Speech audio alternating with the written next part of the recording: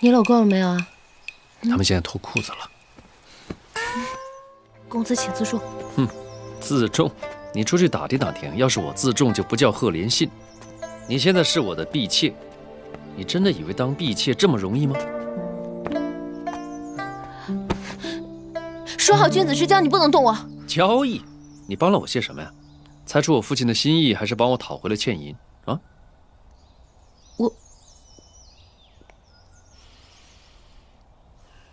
我贺连信从来不做赔本的买卖，就算这次看走眼下错了注，我也不能让自己血本无归，对吧？不如我们两个，我们。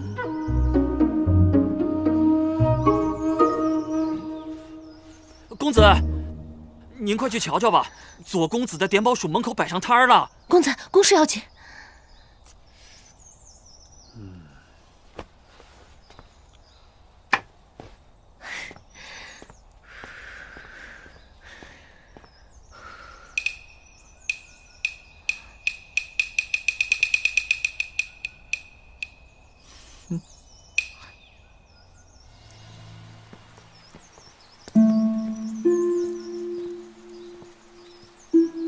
哎，穆大人，你是要给我看什么呀？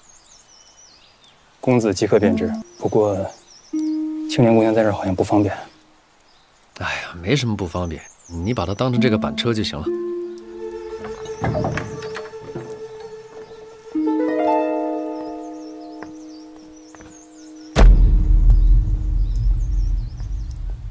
耶！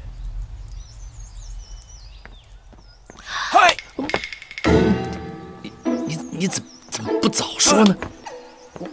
我刚才问公子，公子不是说无妨吗？哎，你你，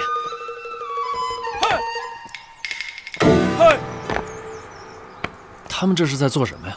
他们在例行检查，因为每次可以出入营库的只有这些库丁，所以他们每次出营库的时候都要举手、拍手、大叫、跳板凳，以此来证明自己的口中、手中、腋下没有夹带银两。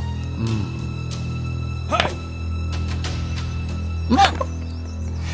嘘，他们每天都这样吗？不错。吴兄，呃，先别让他们走，我有话跟他们说。是。哎哎，记得啊，让他们穿衣服啊。你搂够了没有啊？他们现在脱裤子了。